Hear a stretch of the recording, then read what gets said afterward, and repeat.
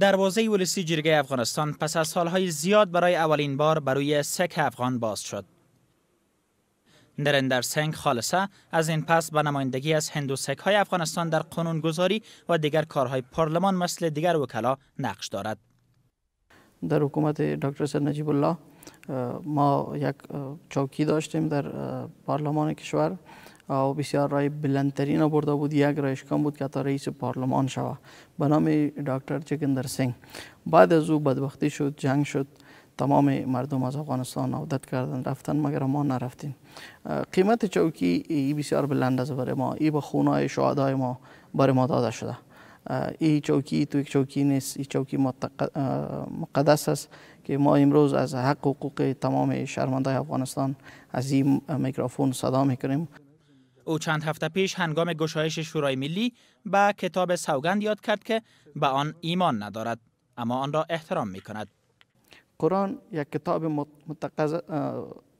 مقدس است و گرنت شریف ما مقدس است.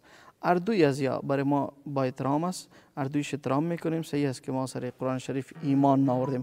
مگر احترام رازیمی است که ما برای احترام کنیم؟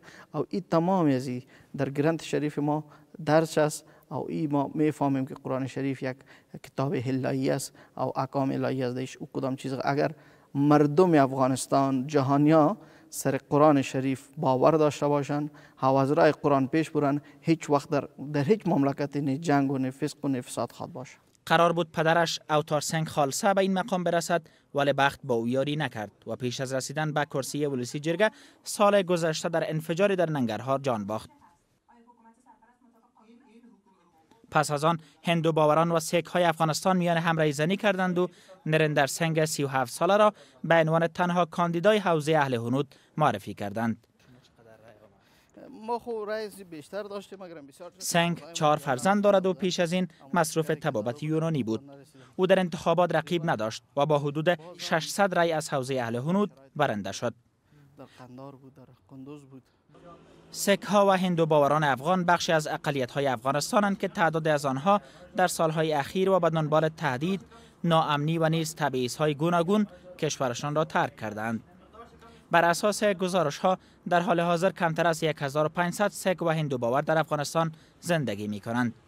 سندب سنگ از شهروندان اهل حرود افغانستان که در انتخابات گذشته ولسی جرگه به نرندر سنگ رای داده از او تقاضای نمایندگی موثر از همباورانش را دارد وقت بود حق حقوق ما نبود.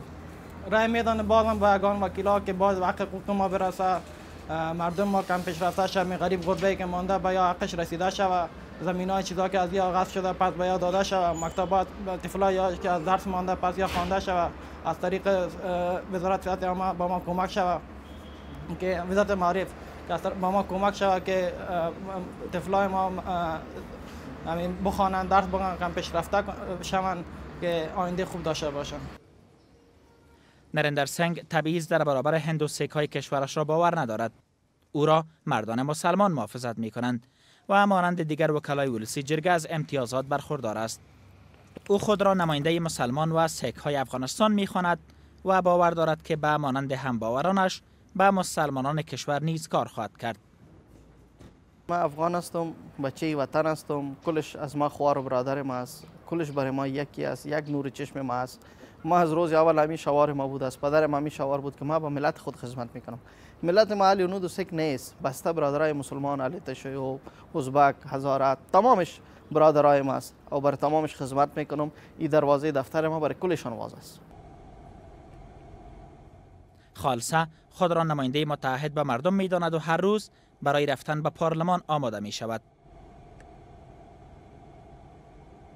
بعد از حکومت دکتر نجیب الله حضور هندو باورهای افغانستان در مجلس نمایندگان افغانستان خالی به نظر می رسید و امسال رئیس جمهور افغانستان یا حکومت وحدت ملی توانست یک کرسی را به اهل هنود افغانستان اختصاص بده.